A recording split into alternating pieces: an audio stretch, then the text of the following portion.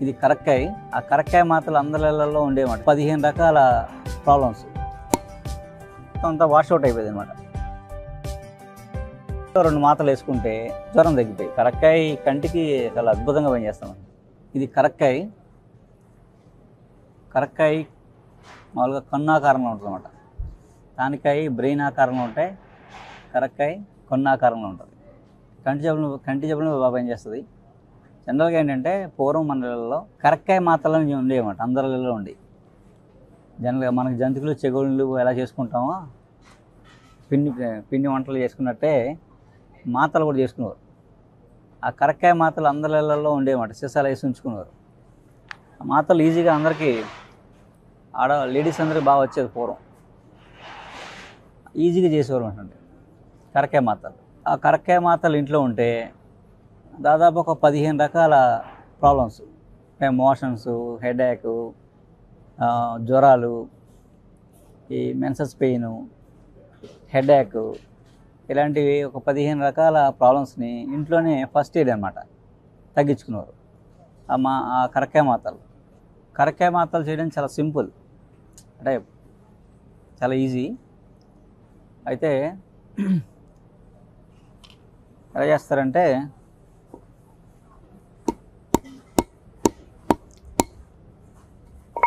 కరక్కాయలు మాత్రం పాత కాయలు అయి ఉండాలి.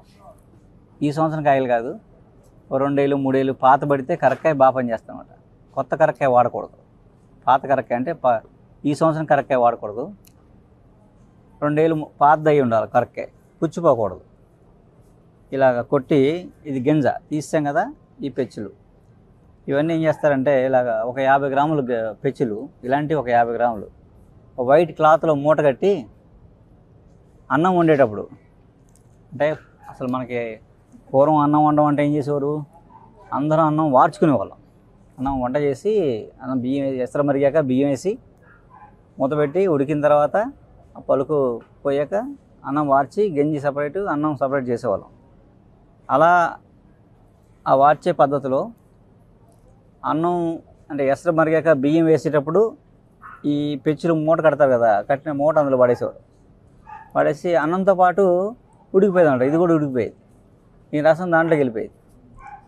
ఆ ఉడికిపోయాక అన్నం వార్చే ముందు మూట తీసేసి అన్నం వార్చేసుకొని ఆ, ఆ రోజుకి ఆ గంజి తాగడం వల్ల ఏంటంటే అందరికీ విరోచన కర్మ అయిపోయి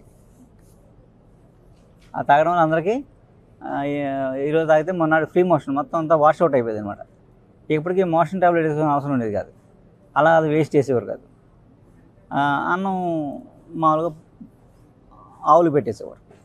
ఈ కరక్కాయ పెచ్చులు ఉడికిపోయి మెత్తగా అయిపోతాయి కదా మెత్తగా అయిపోయినప్పుడు ఇవి యాభై గ్రాములు పెచ్చులు. ఒక యాభై గ్రాములు గసగసాలు అన్నమాట. ఇవి గసగసాలు. గసగసాలు ఒరిజినల్ గసగసాలు ఎలా వస్తాయంటే ఇప్పుడు గసగసాలు కూడా కల్తీ అయిపోయింది. ఇప్పుడు గసగసాలు అన్నీ గడ్డి గంజలు అమ్మేస్తున్నారు. ఒరిజినల్ గసగసాలు అంటే ఏంటంటున్నారు? నల్లమందు మందు కాయ ఉంటుంది. ఫ్లవర్ అయ్యి కాయ కాస్తుంది. ఆ కాయ పైన ఇలా గీట పెడితే పాలు వస్తాయి. ఆ పాలు ఏమో నల్లమందు ఆ కాయ లోపలవి గసగసాలు అనమాట కాయ చదువుకొడితే కొడితే గసగసాలు. మన కాశ్మీరు పాకిస్తాన్ ఆ ప్రాంతంలో బాగా పండుతాయి అన్నమాట ఇవి. ఆ కాయలో ఉన్న గింజలే గసగసాలు. అవి ఒరిజినల్. ఆ గసగసాలు మనకి మందులో వాడేవాళ్ళం. అందరిలో ఉండేవి. గసగసాలు యాభై గ్రాములు కరకాయ పెచ్చులు ఉడకబెట్టిన యాభై గ్రాములు. మెత్తగా నూరి గసగసాలు వేసి మెత్తగా నూరి చిన్న చిన్న మాతలు శనగ గింజంత మాతలు చేసి ఎండబెట్టేసేవారు. నేను ఎండబెట్టి రెండు రోజులు ఒక గంట ఎండలో పెట్టేసి సీసాలు వేసుకున్నారు అవి ఎక్కువ కాలం ఉండేవి ఒక సంవత్సరం రెండు సంవత్సరాలు నిల్వ ఉంటాయి పాడవు అనమాట ఆ మాతల్ని మోషన్స్ అవుతున్నాయి అనుకోండి మజ్జిగలో వేసి ఇచ్చారన్నమాట అంటే పదేళ్ళ లోపు పిల్లలు అయితే ఒక ట్యాబ్లెట్ పదేళ్ళు దాటిన వాళ్ళకైతే రెండు ట్యాబ్లెట్లు ఆ మోషన్ అయినప్పుడల్లా మజ్జిగతో వేసుకున్నారు. ఒక డోసులో అయితే రెండు డోసుల్లో మోషన్స్ తగ్గిపోయాయి. అదే జ్వరం వచ్చిందనుకోండి కరకాయ మాత్రల్ని జ్వరం వచ్చిందనుకోండి జీలకర్ర కషాయం.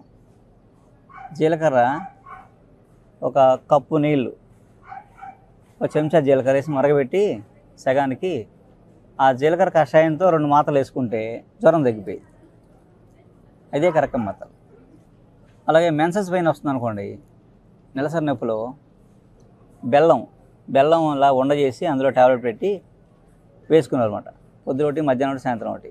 ఆ పీరియడ్ అయినప్పుడు ఆ త్రీ డేస్ వేస్తే పెయిన్ తగ్గిపోయింది. ఒక త్రీ మంత్స్ కంటిన్యూ చేస్తే ఇంకా లైఫ్లో వాళ్ళకి మెన్సెస్ పెయిన్ వచ్చేది కాదు. ఇదే కరెక్టే మాత్రం. గమ్ మోషన్స్ అవుతున్నాయి జిగడ జిగడు విరచనాలు కానీ అమీబేసిస్ కానీ ఇలాంటి గమ్ మోషన్స్ అవుతున్నాయి అనుకోండి.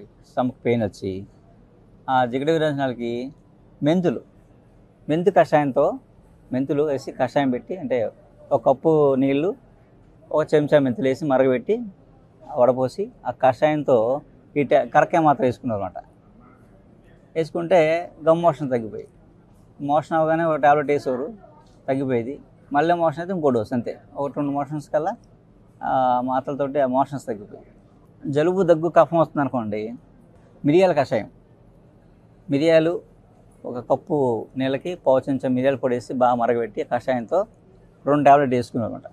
వేసుకుంటే జలుబు దగ్గు కఫం పోయి ఆ పొద్దున డోసు సాయంత్రం డోసు అలా ఒక త్రీ డేస్. ఆ జలుబు దగ్గు కఫం పోయి దానిలో వచ్చిన ఫీవర్ కూడా తగ్గిపోయేది అనమాట అలా. అలా ఆ కరక్కాయ మాత్రలతో అనుపానం మార్చుకుంటూ దాదాపు ఒక పదిహేను రకాల ప్రాబ్లమ్స్ తగ్గించుకున్నాను.